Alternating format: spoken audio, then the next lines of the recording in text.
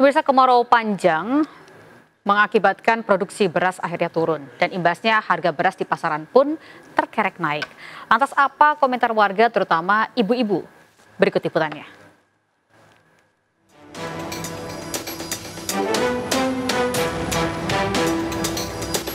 Sekarang harga melonjak dari harga 12 sampai 13 setengah.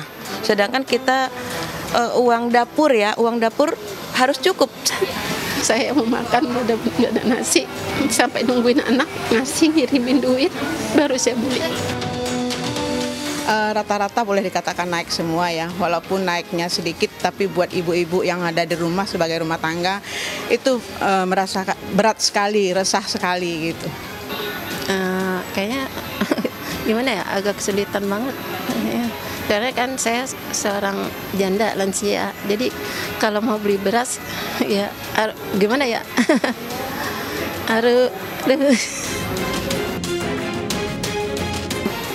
sekarang tuh beras-beras pada mahal pada naik ya apa-apa ya pada naik juga.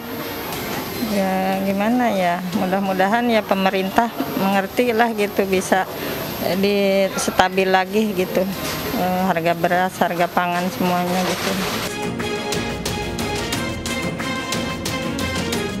Saya minta dengan pemerintah bikin rakyat sejahtera aja deh, jangan dipersulit untuk makan kita sehari-hari.